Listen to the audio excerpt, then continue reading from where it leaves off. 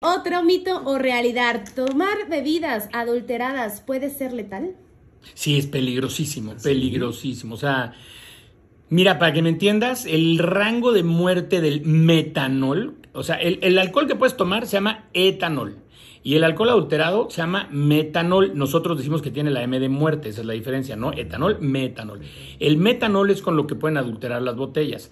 Características del alcohol adulterado, ¿no? Una, una de ellas es que sabe muy feo sabe muy, muy feo. De hecho, eh, no sé si se acuerdan ustedes de la época de la prohibición en los años 20 en Estados Unidos. Bueno, ahí la gente, en Al Capone y todo eso, la gente le dio por destilar su propio alcohol en, sus garages. y abrían ahí, por eso nacieron los speakeasies. El speakeasy es eso, es, es una puerta, es una clandestina, ¿no? Y de hecho también por eso nacieron los cócteles, porque eran sabía tan feo el alcohol que procesaban ellos, que por eso de los primeros cócteles que existieron fue el Manhattan.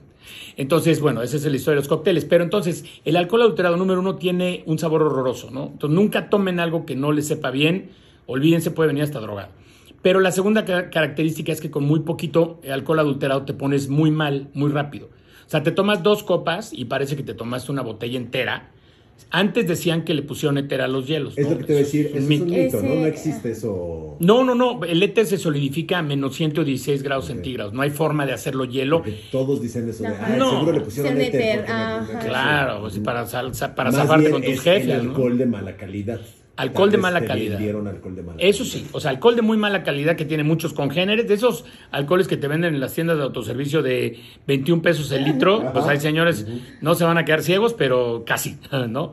Pero entonces el metanol, el rango de muerte, donde ya puedes empezar a, morirte con el metanol, son 30 mililitros. O sea, imagínate, un, un shot, un shot, el vasito ese, son 45 mililitros. Bueno, pues medio vasito de eso de metanol ya con eso estás en rango de muerte. Y aparte, el, ¿qué es lo que pasa? Que el hígado lo convierte en un veneno. Y entonces te va, va, mermando cosas en el ojo, te deja ciego y, y te puedes morir, ¿no? Entonces.